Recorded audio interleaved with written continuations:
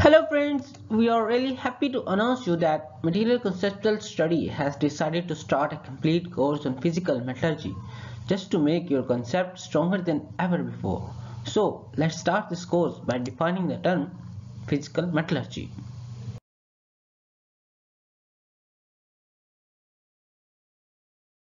Physical metallurgy is one of the broad category of metallurgy the second one is the chemical metallurgy, which is chiefly concerned with the reduction and oxidation of metals and their overall chemical performance.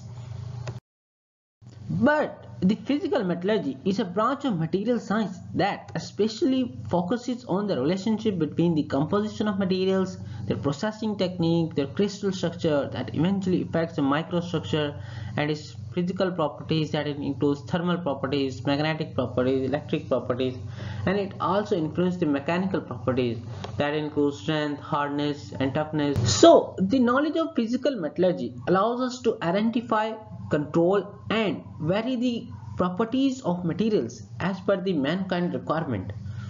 Properties of materials can be altered in different ways. Let me show you some examples. Let's say we have plain carbon steel which is an alloy of iron and carbon. Adjusting the uh, carbon content is the simplest way to change the mechanical properties of steel. This graph clearly shows how the plain carbon steel is changing its hardness, tensile strength and yield strength as the carbon content is increasing. One of the main reasons for the change in its mechanical properties is that its microscopic structure changes with the increase in carbon content. As the microscopic structure changes, it brings changes in its mechanical properties as well as its physical properties. So the study of microstructure is really important to understand the behavior of materials. In this module, we will learn how we can study the microstructure of mater materials by utilizing optical and scanning electron microscopy techniques. The change in composition of materials can also change their crystal structure which eventually affects the properties of materials. For example, when pure iron is solidified, its crystal structure will consist of body-centered cubic. But if we add chromium from 2 to 18% by weight and at least 8% nickel then its crystal structure will consist of face-centered cubic which is known as austenitic steel. Because of this change in crystal structure its mechanical and physical properties will change entirely. For example, this material will become magnetic to non-magnetic and brittle to ductile and less corrosion resistant to more corrosion resistant.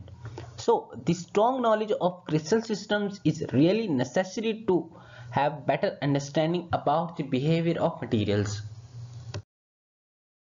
To find the crystal structure, we often utilize the X-ray diffraction technique in which we incident the characteristics X-rays on materials and record the scattered X-ray beam whose study allows us to identify the crystalline arrangement of atoms. Like whether the crystalline arrangement is body-centered cubic or face-centered cubic or hexagonal closed packed structure so by utilizing the X-ray diffraction technique we can identify the crystal structure of materials because materials can adopt any of the 14 possible crystalline arrangement and these are unique three-dimensional arrangement of lattice points which is known as the Bravais lattices.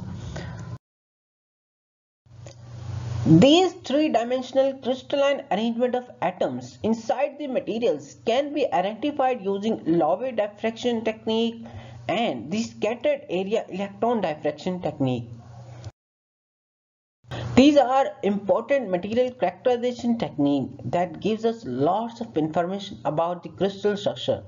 To interpret their results, we must have better understanding about stereographic projections and symmetry of elements. That's why the study of stereographic projections and the symmetry of elements have great importance in material characterization and we will have a detailed discussion on these topics in this module